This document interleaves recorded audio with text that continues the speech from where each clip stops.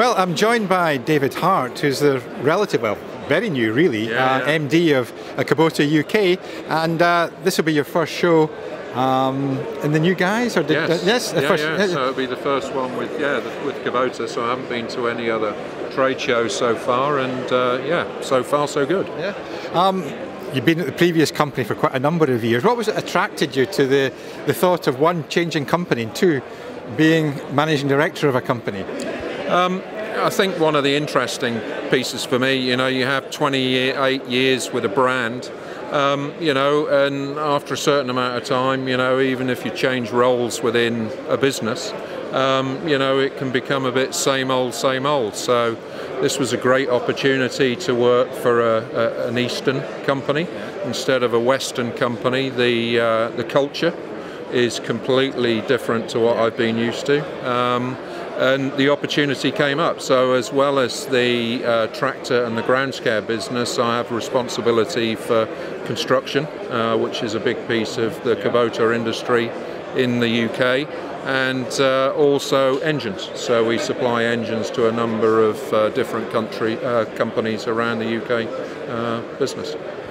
How, how often have you been over to Japan so far? I've only been over once, so I've been here just over six months now, and um, you know it was a, a whistle-stop tour. So I flew into Tokyo, uh, went and visited many of the facilities that they had in Japan, met the chairman, uh, got taken out to a teppanyaki restaurant with the, uh, the uh, senior executives, and uh, then flew back home on Saturday. So uh, had a had a nice time, and um, you know it was a, a real eye opener for me as I've never been to Japan before.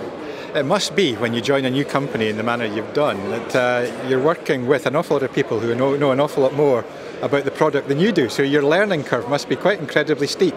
Yes, it was. Uh, yeah, I've, uh, my feet haven't really touched the ground. I would say in that, uh, you know, uh, the product is one piece that you have to get used to. But I think the, the, the important piece that I've sort of focused on is is trying to understand the culture of the company because where I came from, as I say, is a, a Western culture. This is very much an, an Eastern culture, and and they are very different, and and both have their strengths and weaknesses.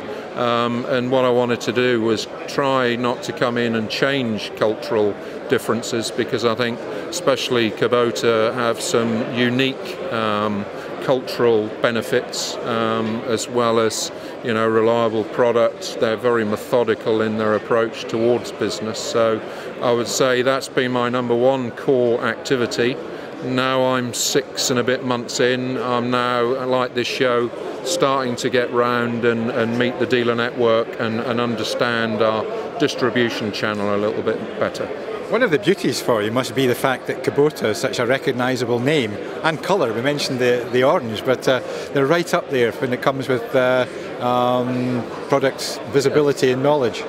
Yeah, and one thing I didn't realise until um, you know the opportunity uh, arose to join Kubota was that in agricultural machinery globally, um, they are number two in, in sales volume. So, and I had no idea of that, but obviously a lot of their sales volume in, in agricultural and grounds care products is coming from Eastern um, Eastern world, um, but also North America. Uh, they're especially strong.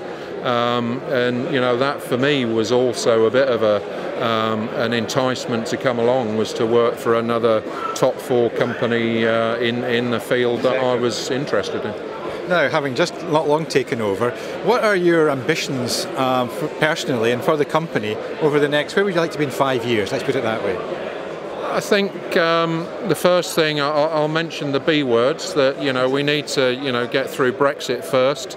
We're not sure where that's going to take us. I, am not overly concerned with the, the grounds care business too much. I would say it could have a fairly big impact on agriculture in, in the next five years, depending on how subsidies go in the business. Um, and then in construction business, uh, I hate to say it, but that could be turned off overnight if the housing market suddenly goes flat on us. 60% of the construction machines that we sell go into rental, um, and of course that business could dry up um, straight away. So I think mine's more short term than that. I'd like to make the next six months a real focus area. But I would say in five years, we still want to be seen as the most reliable product on the market and also dealing with a dealer network that has a personable feel to it um, and also, you know, give, give, give the customers that Kubota experience. Well, David, thank you very much for giving us a little bit of your time. Obviously, there's an awful lot of people want to see you this week, um, you and your job, and uh, they want to come and say hello if nothing else. Yep. Um, so thank you very much for giving us a little bit of your time, and I look forward to working closely with you yep. over the next few years. Okay. And hopefully Brexit will not have too big an impact on this. Yep.